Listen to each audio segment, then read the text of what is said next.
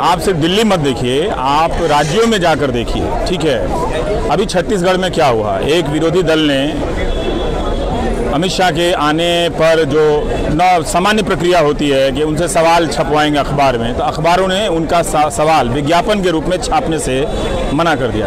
तो ये कोई सामान्य प्रक्रिया तो नहीं है ना? अब हम कब समझेंगे कि 1975 है? 1975 क्या कोई गाइडलाइन थोड़ी है कि वो जैसा जैसा 1975 में लिखा था 2017 में या 2018 में वैसा ही वैसा होगा? कोई ऐसी गाइडलाइन तो नहीं बनी थी?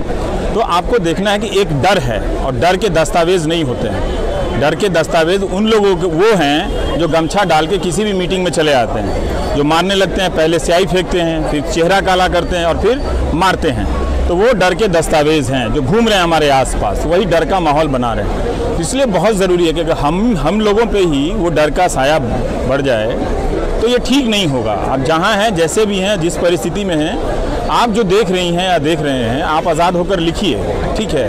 लेकिन जो एक तिरस्कार भाव पनपाया जा रहा है ना, झूठ की एक इंडस्ट्री फैलाई गई है, एक मैकेनाइज्ड अपोजिशन खड़ा किया गया है आपके खिलाफ, कोई भी लिखता है तो उसके खिलाफ व्हाट्सअप में चालू हो जाता है। वो लिखने के बाद ही करप्ट हो जाता है, लिखने के बाद ही उसका खानदान खराब हो जाता है, आपका चरित्र खराब हो जाता है। तो ये प्रवृत्ति उन्होंने बना ली है, ठीक है? और ये प्रवृत्ति 1975 में नहीं थी। वो थी, सड़कों में अफवाह फैलाते थे। इसलिए मुझे लगता है कि समय समय पर जमा होके करना चाहिए, इससे हमें भी पता चलता है कि हमें कुछ और अच्छा करना है। ज़रूरी थोड़ी कि हम सब अच्छा ही कर रहे हैं। तो अपनी कमियों का भी एहसास होता है और अपना लक्ष्य साफ़ होता है कि हम किस लिए केस ही नहीं है और आप जाँच करने आ रहे हैं। प्राइवेट बैंक, प्राइवेट इंडिविजुअल और सारा आके आप जाँच करने आ रहे हैं। सीबीआई के पास इतना टाइम है तो और भी बहुत लोग हैं जिन पर बहत्तर हज़ार करोड़ के मामले हैं और जिन पर बहुत सारे हज़ारों करोड़ के मामले हैं, उन पर अगर वो प्रिलिमिनरी इंक्वायरी कर लें और वो जो डिफ़ॉल्टर हो गए हैं, वो पैसा आ जाए।